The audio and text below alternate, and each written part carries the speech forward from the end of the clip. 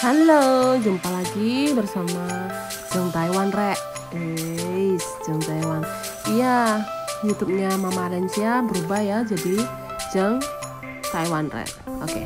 Kali ini kita mau jalan-jalan ke Taichung dan Changhua dalam rangka ikut mendukung program dari Biro Pariwisata Taiwan. Tempat pertama yang kita kunjungi itu adalah kebun teh milik keluarga Marga Chen. Sama loh, marganya sama itu Chen. daun yang seperti ini. Jadi ada bagian dari satu tanaman tadi Dalam ada bagian daun ini, yang lebih lebar seperti Kita ini. itu ditemani Ini oleh Mbak Novi. Nah, Mbak ulang Novi ini lagi studi di Taiwan Jadi dan uh, beliaunya ini uh, juga tandanya sebagai ada daun yang lebih lebar handal seperti kita. ini. Satu, dua, saat di tiga. perjalanan Ya, Changhua digunakan ini. batu cat. Jadi sekali lagi ya review Nah, yang ini tuh bagian paling atas, bagian antara tuasnya itu daun digunakan buat teh merah dan daun teh ulong. Teh ulong itu adalah teh asli dari Taiwan. Alhamdulillah banget pas hari itu itu eh, cuaca matahari lumayan gede ya. Jadi eh, yang Taiwan lagi musim dingin kita masih bisa merasakan hangatnya mentari.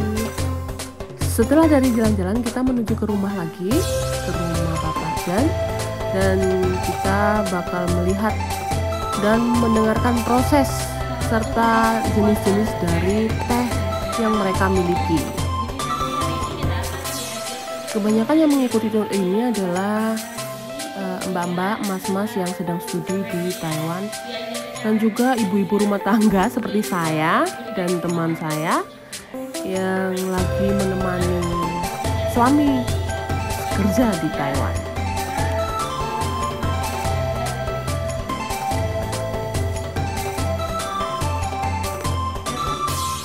Adakah yang tahu ini apa? Ya, ini adalah susunan beberapa jenis teh yang mereka miliki.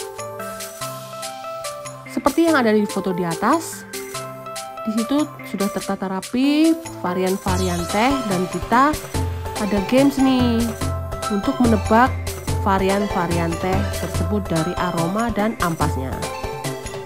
Gak terasa ternyata sudah masuk di waktu makan siang. Dan ini beberapa menu dari menu makan siang kita berupa vegetarian ya, muslim friendly. Selamat makan. Setelah istirahat, makan siang dan sholat, kita teruskan ke tujuan selanjutnya. Tapi sebelumnya foto-foto dulu. Masih di daerah Changhua dan kita masuk ke Sengpian Food Ltd. Nah, ini tuh perusahaan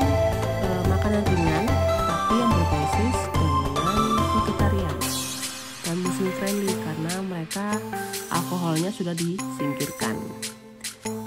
Yang belanja, yang belanja, yuk. Produk makanan mereka berbasis dari malt. Karena kita shopping, kita nikmati aja ya foto-foto dari mereka-mereka yang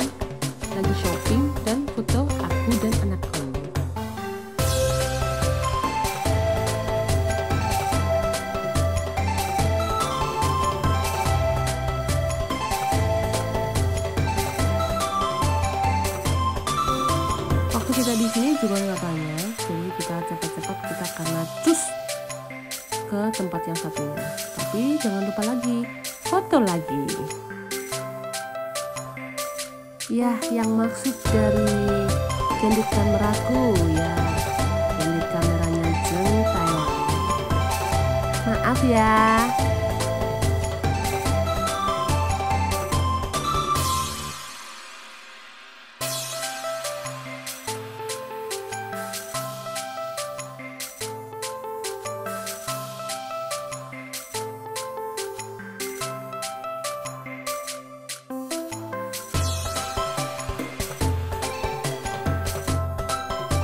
Cukup ya candidnya. Yuk kita langsung ke tujuan selanjutnya ya. Tujuan terakhir yaitu Leho, Leho atau Loho ya. Ini salah satu perusahaan kaos kaki pertama di Taiwan dengan inovasi-inovasinya. Dan masih tetap dengan bersama sang handal kita, handal kita yang baik hati, tidak sombong.